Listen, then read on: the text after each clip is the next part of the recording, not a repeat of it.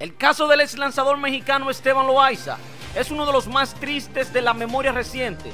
Como una persona que lo tuvo absolutamente todo terminó por perderlo y acabar en la cárcel acusado de narcotráfico en los Estados Unidos.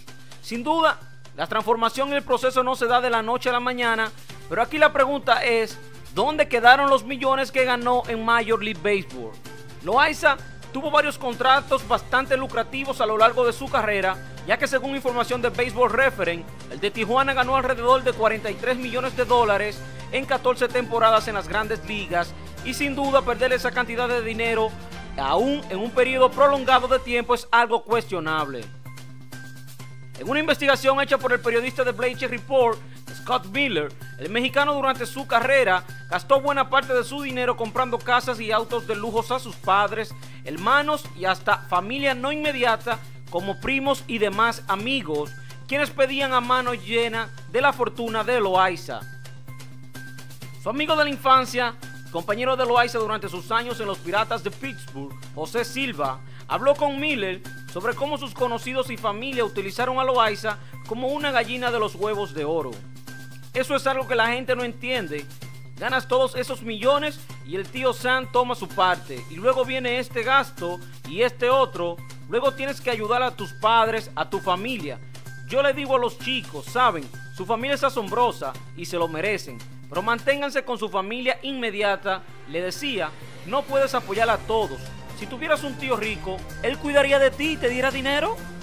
En 1998, Loaiza se casó con Cristina Teadora.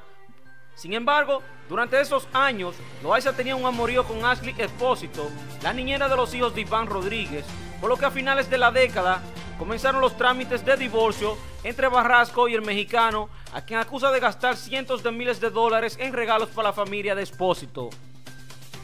Para cuando Loaiza estuvo casado con la cantante Jenny Rivera, amigos y conocidos del peloteros, según Miller, comentan que ya se había acabado casi a totalidad de su dinero en fiestas y parrandas con sus amigos y cuando esta falleció no tuvo derecho a la cuantiosa herencia del artista. La última vez que Loaiza fue visto públicamente antes de su arresto fue en un fanfest de los Chicago White Sox antes del comienzo de la temporada 2018, donde según comenta Ed Casey, director de viaje del equipo de Chicago, durante mucho tiempo, que Loaiza sobrevivía vendiendo gorras de su propia marca en México y vivía al día.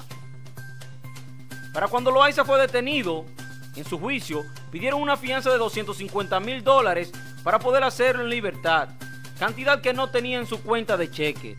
Señores, un lamentable caso de Esteban Loaiza, quien ganó una fortuna en las grandes ligas y actualmente por no saber administrarse y caer en otras tentaciones y eh, darle el gusto a otras personas, no se fijó en lo que le estaba pasando, gastó toda su fortuna, fue detenido por tráfico de drogas y actualmente está en la prisión sin dinero y sin una familia a su lado. Bueno, señores, yo quiero que me dejen un comentario sobre lo que ustedes piensan de este caso de Esteban Loaiza y que si les ha gustado el contenido que hemos traído en el día de hoy, que le den a me gusta, que compartan, que activen la campanita de notificaciones y este ha sido Alfred Monte y nos vemos en una próxima entrega del bloque deportivo.